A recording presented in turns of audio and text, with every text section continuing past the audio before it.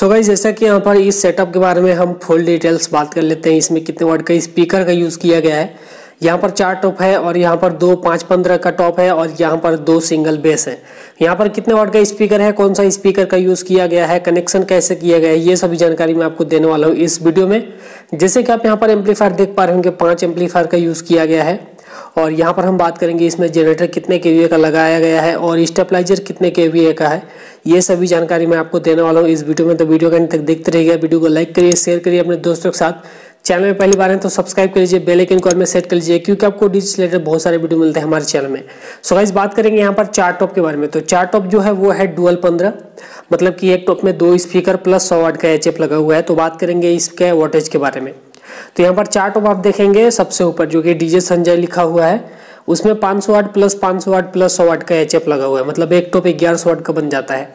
तो यहाँ पर एच के लिए अलग से एम्पलीफायर है और स्पीकर को चलाने के लिए अलग से एम्पलीफायर मतलब कि चार टॉप यहाँ पर कंप्लीट ग्यारह वाट का मतलब एक हज़ार वाट का बन जाता है स्पीकर ओनली तो यहाँ पर चार टॉप एक हज़ार वाट का बन जाता है प्लस सौ सौ वाट का एच इसके लिए अलग से एम्पलीफायर कनेक्शन कैसे किया गया है, ये हम वीडियो के आगे बात करने वाले हैं।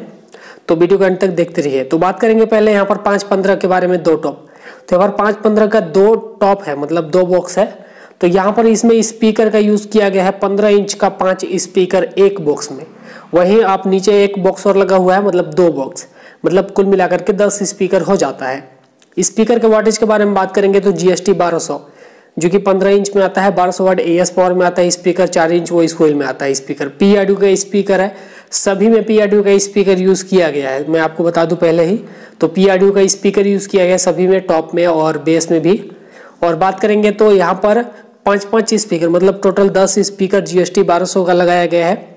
और सिंगल बेस के वेट में यहाँ पर 18 इंच का बेस स्पीकर है, जो कि 1000 वाट का स्पीकर है 18 इंच में। तो यहाँ पर हज़ार हज़ार वाट का दो बेस है। और वही हम बात करेंगे तो यहाँ पर एम्पलीफायर आप देख पा रहे होंगे, चार एम्पलीफायर है स्ट्रेंजर का एस पी के और ये एक एम्पलीफायर है यहाँ पर स्ट्रेंजर का पीबीटी सात सौ एक। कनेक्शन के बारे में बात करेंगे तो चार टॉप के लिए मतलब कुल मिलाकर के आठ स्पीकर के लिए यहाँ पर एक एम्पलीफायर जो कि स्ट्रेंजर का एस पी बी फोर के। यहाँ पर दो टॉप एक चैनल में, दो टॉप दूसरे चैनल में। एचएफ के बारे में बात करेंगे तो एच को चलाया गया है पीबीटी एक में। मतलब चार एच को पीबीटी एक में चलाया गया है। तो ऊपर वाले टॉप का कनेक्शन हो गया। बच जाता है नीचे वाले पाँच पंद्रह और दो सिंगल बेस तो इसका कनेक्शन कैसे है? तो यहाँ पर हमारे पास तीन एम्पलीफायर है। तो तीन एम्पलीफायर में कनेक्शन कैसे किया गया है, ये आप गौर से समझिए। तो यहाँ पर एक बॉक्स में पाँच पंद्रह है मतलब पाँच स्पीकर है। तो एक बॉक्स में से चार स्पीकर एक एम्पलीफायर में लगाया गया है। दो स्पीकर एक चैनल में, दो स्पीकर दूसरे चैनल में। और वही हम बात करेंगे दूसरे बॉक्स में। तो यहाँ पर भी सेम वैसे ही लगाया गया है। इसमें पाँच स्पीकर है, लेकिन इसमें चार स्पीकर का कनेक्शन अलग से निकाल करके एक एम्पलीफायर में कनेक्ट किया गया है। तो यहाँ पर दो स्पीकर एक चैनल में, दो स्पीकर दूसरे चैनल में। कुछ इस प्रकार से कनेक्शन किया गया है। अब बच गया पाँच पंद्रह में एक स्पीकर और एक पाँच पंद्रह में बच गया एक स्पीकर मतलब कुल मिलाकर के दो स्पीकर बच जाता है उसमें। और नीचे आपका बच जाता है दो बेस सिंगल के।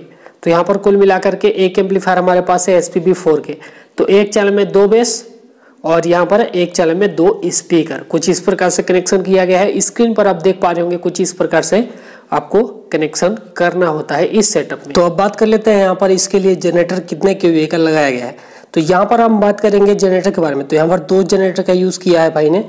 तो यहाँ पर जनरेटर का यूज़ किया गया है दस के वी का। एक जनरेटर है और एक साढ़े सात के वी का जनरेटर है।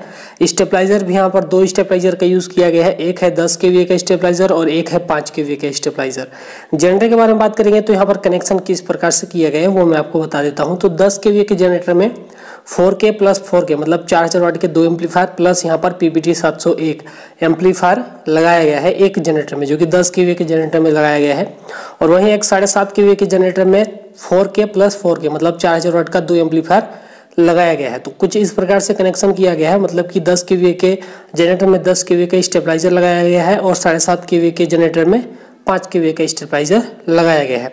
तो कनेक्शन कुछ इस प्रकार से किया गया है और मैंने आपको सभी चीज़ जानकारी बता दी फुल डिटेल्स एड्रेस के बारे में बात करेंगे तो स्क्रीन पर आप देख पा रहे होंगे, यहाँ पर भाई का डीजे संजय और यहाँ पर स्क्रीन पर मैं शो कर दूँगा झारखंड का डीजे सेटअप है। और यहाँ पर हम बात करेंगे तो भाई का यूट्यूब चैनल भी है तो अगर आप चाहते हैं तो आप नीचे डिस्क्रिप्शन में मैंने लिंक दे दिया, वहाँ पर आप चेकआउट कर लीजिएगा।